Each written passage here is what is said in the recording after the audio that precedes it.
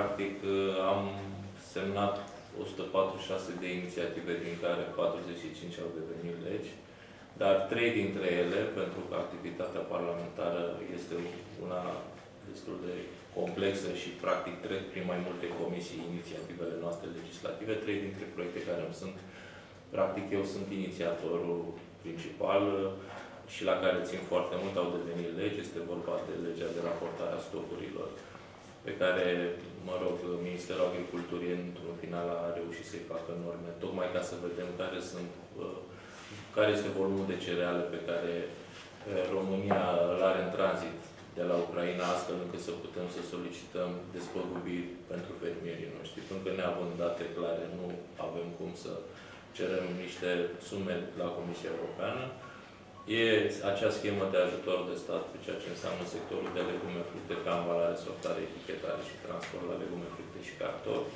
Și nu în ultimul rând, eu împreună cu domnul senator Ciprian Pande am inițiat legea de certificare voluntară DOR, o schemă de certificare voluntară, este prima schemă de certificare voluntară din România, în care, uh, practic, uh, se creează un cadru legal prin care micii producători să poată să-și individualizeze producția autohtonă, astfel încât consumatorul să uh, aleagă în cunoștință de cauză. Practic, mai sunt foarte multe acte normative pe circuit. Am o situație, o să vă punem la dispoziție, tocmai ca să nu citesc din, din ea. Eu cred că județul Călăraș este un județ eminamente agricol, cu ferme atât din sectorul vegetal cât și industria alimentară, care merită o atenție mai mare. Știu că avem un secretar de stat din partea județului Călăraș, în cadrul Ministerului Agriculturii. Din păcate, aici eu fac o remarcă și nu fac în sens peorativ, doar că ar trebui să ne dea de gândit Dumnea ei se e preocupată foarte mult de sesizări ale foștilor colegi din cadrul Agenției de Plăți și Intervenții în Agricultură Călăraș, de a trimite corpul de control al Ministrului, în condițiile în care, dacă este să ne uităm pe cifrele pe care le-au pus la dispoziție Agenția de Plăți și Intervenții în Agricultură, constatăm, practic, că avem o situație de plăți la noua, noua întâia 2023 de 39 de milioane 943 de 1300 în conturile fermierilor, cu un procent uh, de plăți uh, bun în comparație cu alte județe.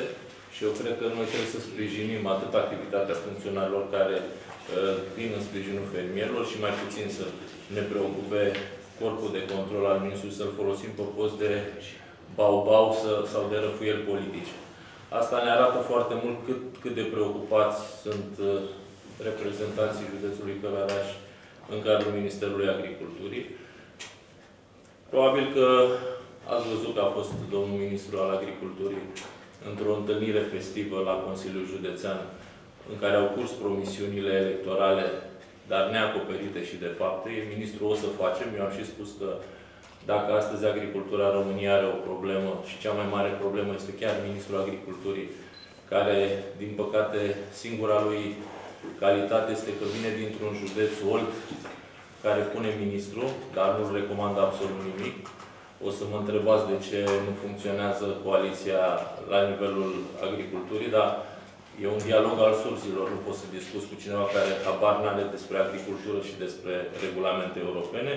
Singura lui preocupare majoră pe care o are în acest moment este să plătească stuful. Ați văzut că a fost o, o anchetă jurnalistică la ProTV, unde două firme din Tulcea au depus uh, cereri de subvenție pe stuf în condițiile în care, ce să vezi, chiar domnul ministru, în momentul în care era președintele Comisiei de Agricultură, a fost inițiatorul unui amendament absolut uh, ciudat, chiar mi-a spus în ședința respectivă că dânsul a stat cu capul amendamentul. Da, mă rog, asta probabil altcineva trebuie să spună uh, despre povestea asta, doar că ar trebui să le spună fermierilor care astăzi protestează că preocuparea dumnealui este să plătească stuful ca foraj pentru animale în condițiile în care noi avem fermieri la nivel național, un procent, estimăm noi, destul de mare, care riscă să intre în insolvență pentru că nu își pot onora obligațiile către furnizorii de inputuri.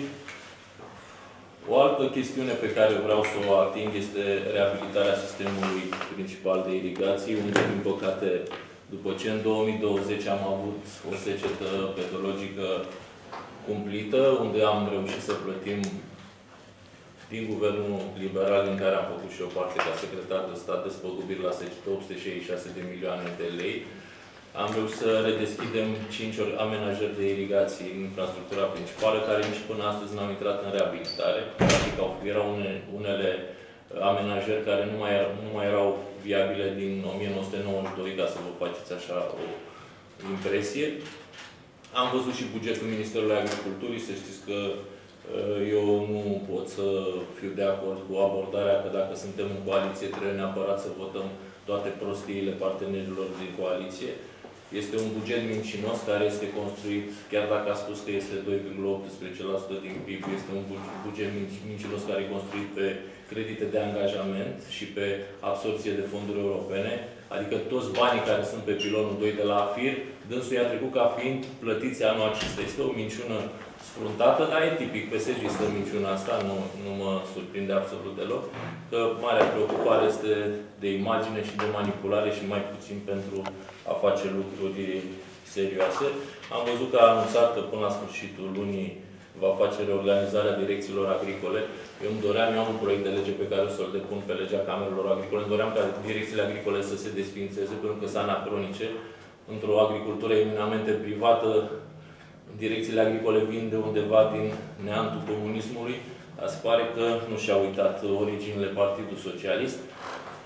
Și o altă chestiune pe care, mă rog, liderii noștri politici la nivel european, e vorba de domnul Daniel Buda și de domnul Dan Motreanu, prin grupul PPE încearcă să găsească o soluție juridică la nivelul Comisiei Europene pe ceea ce înseamnă pârloaga, pentru că anul acesta fermierii care vor depune o cerere unică de plată vor fi nevoiți să lase 5% din suprafața exploatației pârloagă, în condiții în care timp de foarte mulți ani fermierii s-au străduit să cultive terenul, să scape de infestarea de uh, boli dăunători și uh, de uh, bălării și rotația culturilor. Astea sunt chestiunile pe care am vrut să, le, să vi le spun.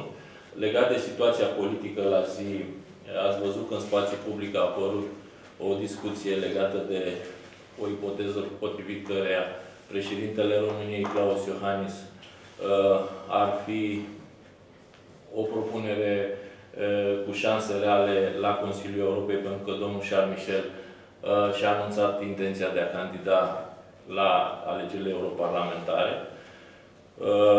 Și aici Partidul Național Liberal Uh, susține propunerea. Încă nu s-au avansat discuții uh, foarte, uh, foarte mari, dar e clar că în perioada imediat următoare vor fi avansate discuții și eu cred că, cunoscându-l pe președintele României, pentru că am avut onoarea să particip la negocierea pe cadrul financiar multianual în 2020, în februarie, este o persoană care este respectată la nivel european și care credem noi că ar avea o șansă reală să ocupe o poziție foarte importantă la nivel european.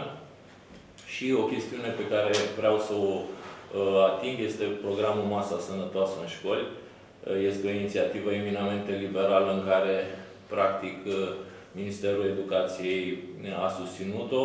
E vorba de o mie de școli care vor beneficia de program. Practic nu este un program pilot. Există și cadrul legal ca acolo unde avem primării să poată din bugetul local să, să financeze astfel de activități.